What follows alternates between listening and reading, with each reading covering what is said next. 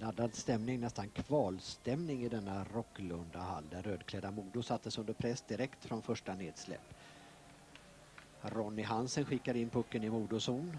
Thomas Strandberg fiskar upp den och Peter Popovic friskar upp den i nättaket. Efter 39 sekunders spel är det 1-0 till hemmalaget som får sitt Sovjetförvärv Mishat Farutinov skadad i femte minuten. Han fick en hård tackling och drabbades av en kraftig hjärnskakning.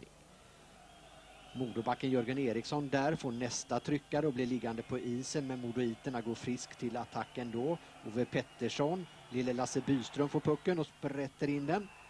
Förbi Per Hellenberg 1-1 efter 5 minuter och 31 sekunder. Bägge lagen såg till att krypa ytorna för varandra och målchanserna var lätt räknade i första perioden. Här är det Mikael Ståhl som är framme.